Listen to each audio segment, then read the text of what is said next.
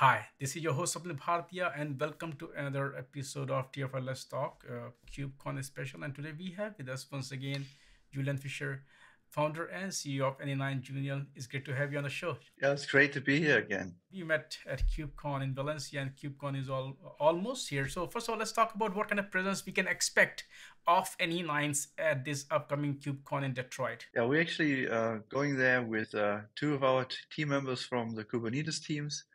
Um, so we're expecting a lot of fun.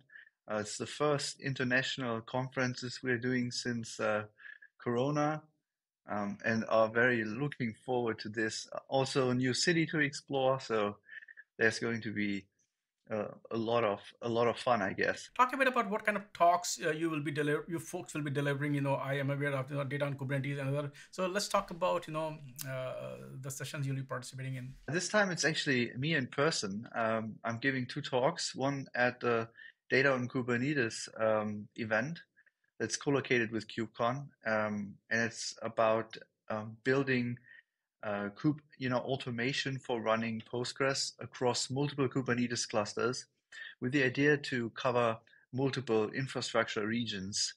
Uh, for example, to span a database globally. The other talk is, um, to, uh, uh, you know, basically a recap of working uh, with Cloud Foundry for more than ten years now. Um, so that that'll be the two talks, and I'm I'm happy to you know share some some of the details with you. Yeah let's talk about you know the, the recap of 10 years of you know your you know work with the, the cloud foundry community. Talk about that. Just give us a teaser about that talk. When we started working with cloud foundry uh, we've been a, a, ruby on rails development shop. Um, we we did um, software operations as well. But um, you know the journey from getting in touch with cloud foundry to becoming anynines, company was was called Avarteq back in the days, is a transformation story. Um, along the way, transfor- the transformation not only uh, you know happened and affected our company, but also Cloud Foundry itself. So Cloud Foundry has been in under constant change um, since then, and the talk will be about you know how the technology changes, um, how it did in the past, and whatever will be in the future. Uh, but it's also about how our company changed along with it and how it felt to be, uh, you know, a mid-sized company uh, in the Cloud Foundry ecosystem. I will also share some of the impressions we got from the community, you know, the friends we made along the way, and and and how how great it is to be in that ecosystem uh, to this day. And that's a very you know kind of warm and closely knit community there when we do look at uh, Cloud Foundry. Now, since we're talking Cloud Foundry, uh, they will be also you know uh, talking a lot about a lot of projects that are kind of either bridging the gap. As we were talking uh, earlier, a lot of classic Cloud Foundry users there or Steam Cloud Foundry. A lot of folks are looking at moving to Kubernetes. So there's a project called Korifi that they will be talking about. Uh, talk a bit about the project. How did you see that project, and what do you expect from that, and how does it help uh, folks like Any9s? Well, we've seen a lot of adoption um, towards Cloud Foundry in the past ten years, especially from from large enterprises. So building operation, uh, building application development platforms at scale. That's something Cloud Foundry, especially classic Cloud Foundry, is really, really great. And from the perspective of, of operational efficiencies, I, you know, I told that many times. Up to this day, it's it's absolutely extraordinary. In, and this is also because of the underlying mechanism mechanism on how you deploy it using BOSH. All right, that's that's a given thing. It still stands absolutely um, let's say 100% solid. Now, there's Kubernetes, and Kubernetes, you know, it's not just another thing that um, that you can ignore. It's it's something that you'll have to adapt with whatever software you have. So, from the Cloud Foundry perspective, how to you know deliver that Cloud Foundry experience over over the next 10 years something needed to change and there have been many projects to do that you know like um, uh, kubecf and, and CF for Kubernetes. And I think they all share, you know, the, the same trend, which is Kubernetes has much more weight and momentum than initially anticipated. So Korifi in my opinion, is, you know, the, the um, manifestation of the insight that that Kubernetes is is not only something that you need to provide somewhere within within it, but it's the very foundation to build future application development platforms. So the the rewrite, uh, the Korifi rewrite, is basically uh, you know paying tribute to that insight by adapting uh, Kubernetes technologies you know from ground up.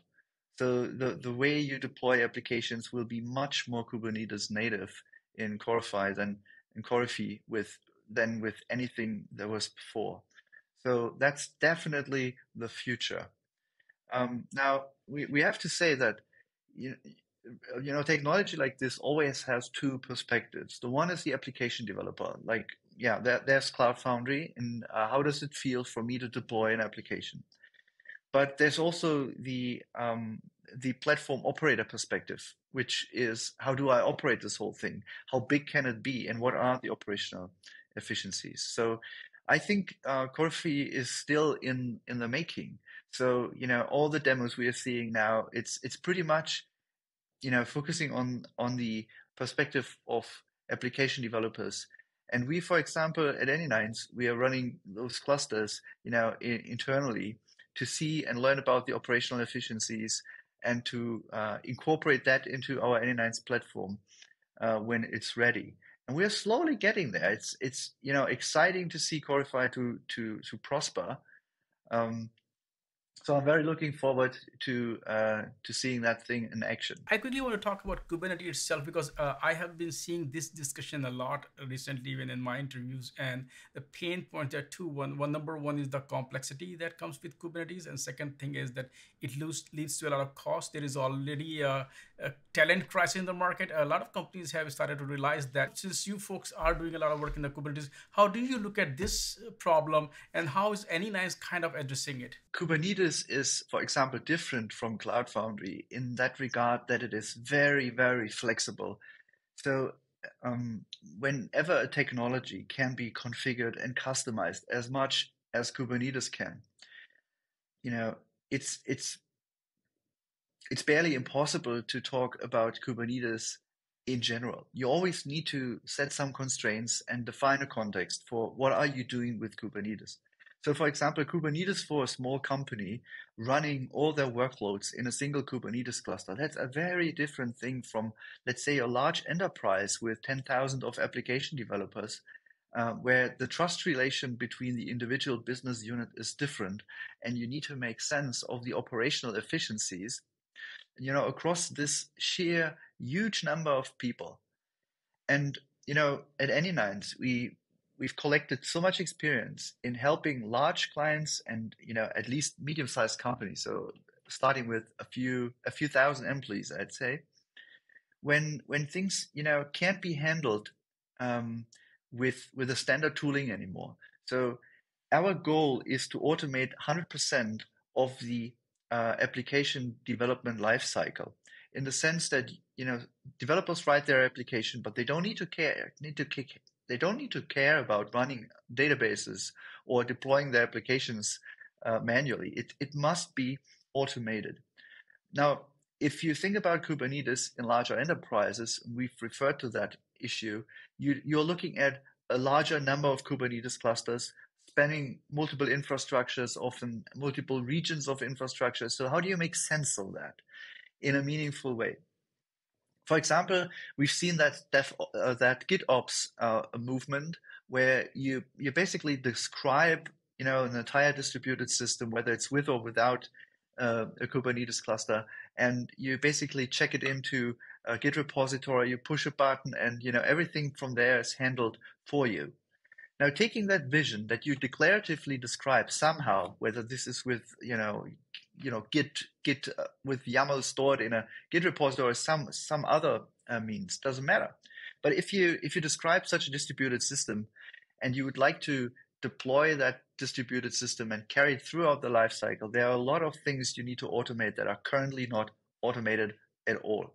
For example, this is managing the lifecycle of Kubernetes, including managing extensions that will extend Kubernetes, such as a service mesh, su- such as operators for storing data, or integrating other data solutions like the anynines data services, for example, in a Kubernetes cluster in a meaningful way, so that running hundreds of Kubernetes clusters won't eat the operational efficiencies that you're actually aiming for. So this is the area where we are involved uh, a lot in making those operational efficiencies that we know from Cloud Foundry environments happen in Kubernetes while still allowing much more flexibility than with Cloud Foundry, the classic Cloud Foundry. Uh, thanks for uh, sharing that. Now, since we are talking about KubeCon and we are talking about Kubernetes, any specific announcements or you know uh, technologies that you will be showcasing at the KubeCon? We recently uh, published Postgres, uh, the Postgres operator for Kubernetes.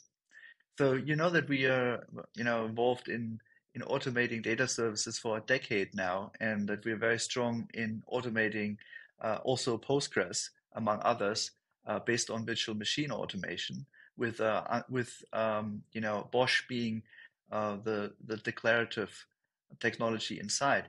Now, if you think about use cases with with Kubernetes, you'd also see that there are some uh, platform environments where you know the only uh, contract to infrastructure is that there is a Kubernetes cluster. So for people going all into Kubernetes, they also want to manage their data in Kubernetes. That's that's why we're also so engaged in the data on Kubernetes community. So the idea, if you if you remember that that the anynines data services, for example, from a, a commercial perspective, you, you purchase one license and you get access to all the data services across all your environments. This will also include the Postgres uh, operator for Kubernetes. So it's a seamless um, uh, you know, integration into the anynines platform. So the team has been working a lot of getting in, you know, getting this uh, Postgres operator right, because there are a lot of operators out there also for Postgres. But you need not only to get, for example, cluster management right, uh, regarding replication and so on. But you also need to think about how do you connect your application to a Postgres. So in Cloud Foundry, we know that there's a, a concept such as service bindings. And this is something we also transfer to the Kubernetes uh, world. So you can declare, uh, let's say, the relationship of an application to a, to a database uh, using uh, a service binding uh, custom resource which will then take care of creating, you know, the database user, creating the secret and so on.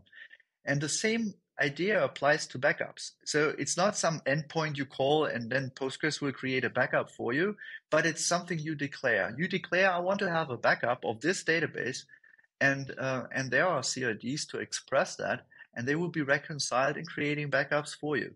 So it's it's basically taking our experience uh, from from the anynines data services for virtual machines and transferring them to Kubernetes native uh, operators uh, to also provide exact those operational efficiencies that I earlier spoke of, which also incorporates how do you install the the, the operator and how do you keep it up to date uh, if you're running hundreds of Kubernetes clusters. So the beta release of that product is uh, is basically now happening. And you will be doing demos uh, at your booth here? Yeah, sure. I mean, product can be used, can also be, uh, you know, tried out. Um, we we offer uh, the ability to, you know, get hands on the operator, install it in your environment. We help you to get it going, and you know, um, you try it out yourself. What kind of folks, you know, should come and check out your booth and what they can expect there? Well, anybody interested in how do you build application developer platforms is welcome.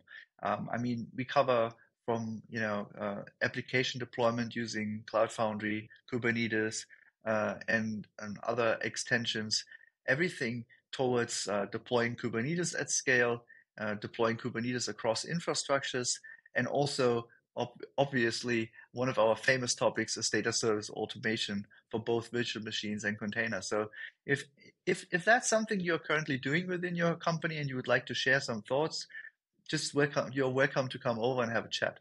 Can you also talk a bit about you know what other work, uh, what other research is going on, you know, at anynines, of course, in the context of Kubernetes? If you can share some insights or details there. We we talked about what you know the the the challenges that uh, organizations face when they uh, cr- create a number of Kubernetes clusters, and um, one of the challenges we see is for large clients, it is very likely that certain patterns, certain you know, let's say templates on how a Kubernetes cluster uh, will look like uh, need to be used on a frequently basis. So for example, Korifi.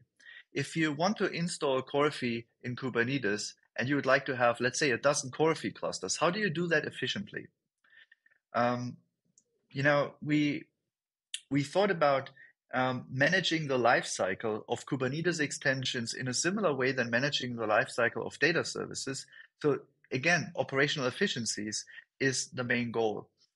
Um, and we are uh, currently developing a solution that does the uh, management of, of, of stacks, which would be a, a, template for a Kubernetes cluster ready to be used by application developers, which could include, you know, some application layer, could be Korifi or Knative, uh, including a service mesh and some operators. So you'd be able to define your own combination of extensions and then deploy that declaratively, including lifecycle management down to monitoring and backups in an infrastructure agnostic way. So this will work on, on any major infrastructure and it'll give you that operational efficiency we're talking about. Uh, Julian, once again, thank you so much for sitting down with me and talk about you know your presence at uh, the upcoming KubeCon event. But I will, you know, I look forward to talking to you and meeting you there in person as well. But I really appreciate your time today. Thank you. Well, and thank you very much. Also, looking forward to see you again, um, to see all of you again. So just come over. Uh, I'll be around. Um, and and very looking forward to to see people again at a real conference. So once again, thanks for having me. And yeah, see you next time.